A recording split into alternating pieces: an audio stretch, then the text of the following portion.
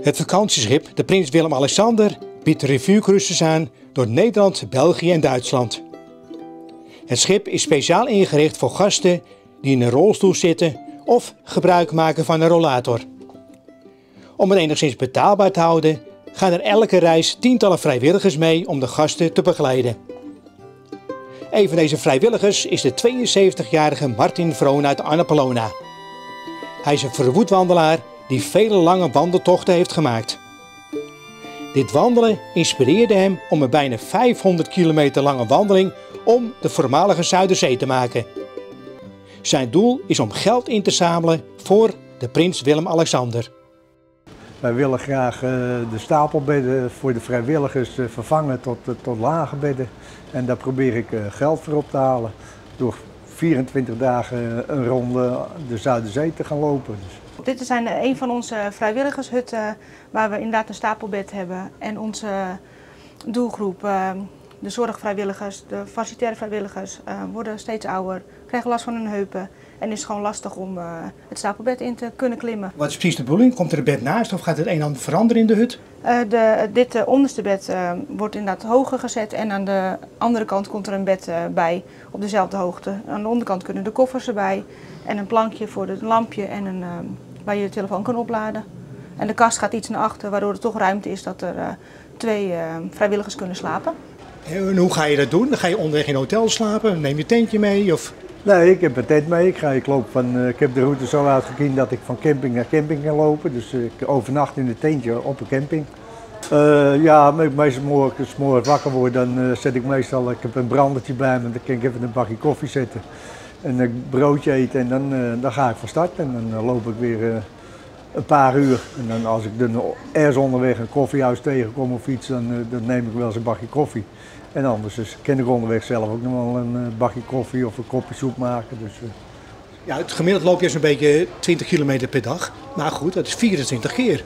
Ja, ja dat is zeker. Het is 20 eh, tot 25 kilometer per dag.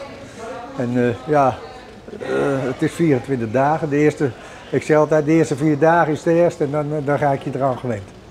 Wij varen met mensen met een zorgvraag of partners die in het verpleeghuis uh, wonen en andere partner thuis, dat ze toch samen uh, op vakantie kunnen gaan. We hebben alles mee uh, aan boord, zorgvrijwilligers, facilitaire vrijwilligers. Dan hebben ze een volledige vakantie verzorgd en de partners worden ontzorgd op deze vakantie. Ja, jullie, het is gewoon een stichting toch, zijn jullie? Ja, Stichting Varende Recreatie. En hoe komt die aan geld? Van de overheid of moet je alles binnenharken?